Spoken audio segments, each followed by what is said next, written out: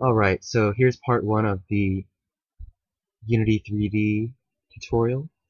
So I already have it written in C Sharp, but I want to recreate it in JavaScript. So maybe a good way to go through the uh, series would be I show you what I have in C Sharp and then recreate it in JavaScript and so that way you'll see the structure of what I'm doing. Um, for JavaScript, you'll see how I'm coding it, but if you want it in C Sharp, I have the script there.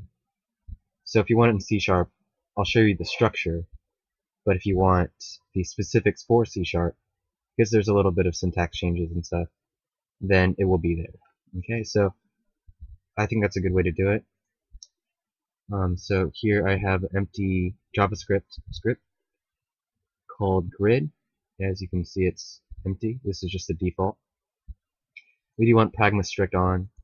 Um, I'm also going to put pragma downcast. Hold on. I'm just going to exit out of this. That's League of Legends. Someone's messaging me. Okay. Um, right, so I haven't used JavaScript in a while, but you should always put pragma strict and pragma downcast.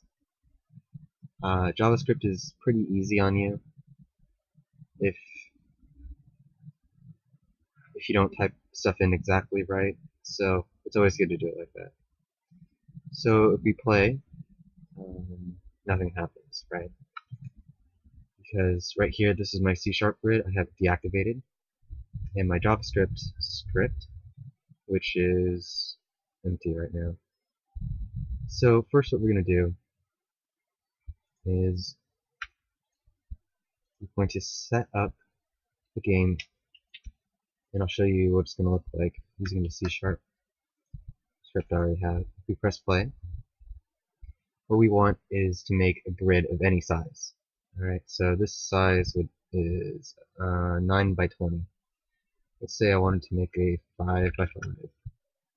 I think the camera's going to be a, be a little off for this. Yeah, uh, but as you can see, it's a 5 by 5 grid. Wanted to do 50 by 3. I don't know why anyone would want that, but 50 by 3. So, we're just going to make a grid of any size. Okay, and this is going to be using a double for loop. But first, before we make the grid, we need to make this prefab. So, I'll move one uh, into the scene. So here it is. This is really simple. It's just a box with four walls. So I'm going to recreate this right now. Um, to make that, I'm going to go to Game Object, Create Other, and then Cube.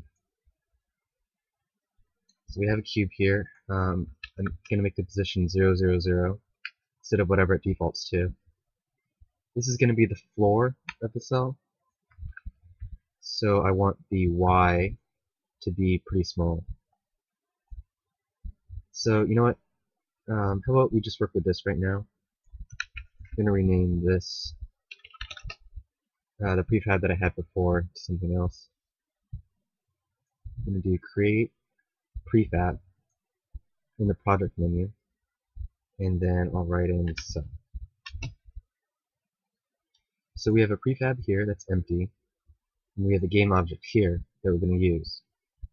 So to change the prefab into this cube, or rather, make the cube this prefab, I'm going to drag the game object into the prefab. Now if I delete the object in the game, like this, I can drag back in. So this is just like um,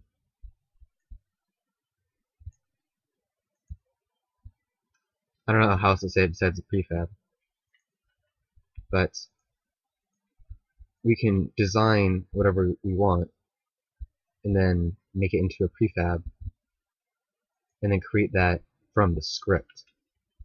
Alright, so I'm going to delete this one. Okay, so all I've done so far is just create this prefab, right? Now we're going to go to our JavaScript script. I keep saying JavaScript script. And we're going to need some variables. So let me check which ones they are.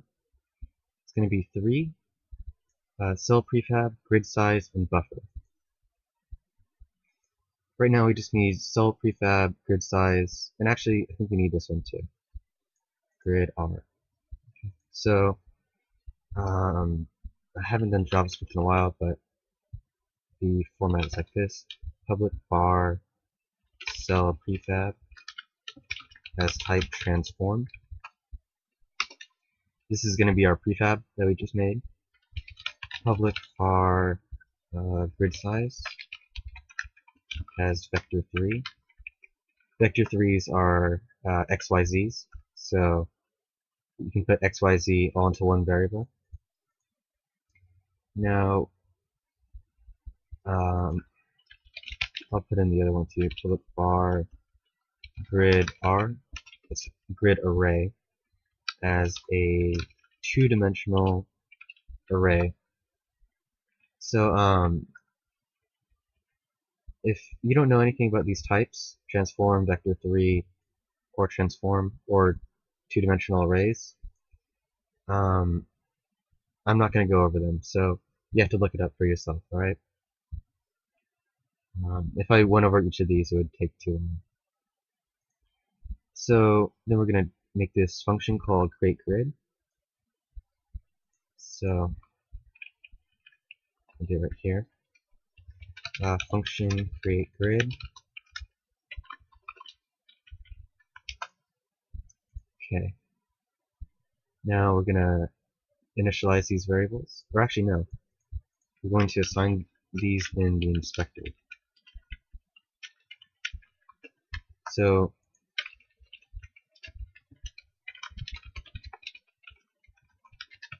let me zoom this in. Okay, so um, I'm giving myself this little note. Um, it's just a comment with a star. That's telling me that I'm assigning these variables in the inspector. So inspectors in Unity, over here, um, we have these variables, cell prefab and grid size. They are, cell prefab and grid size. So we're going to assign those right now. And make the grid size 5 by 5. Um, now cell prefab, I'm going to drag in that prefab that we have right into there. Right. So first, let's not even create the grid. Let's just do uh, instantiation. So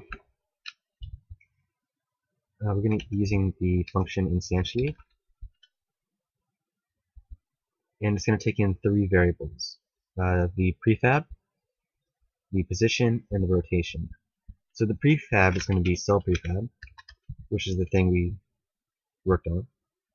The position, um, actually, you know what? Let's start really simple.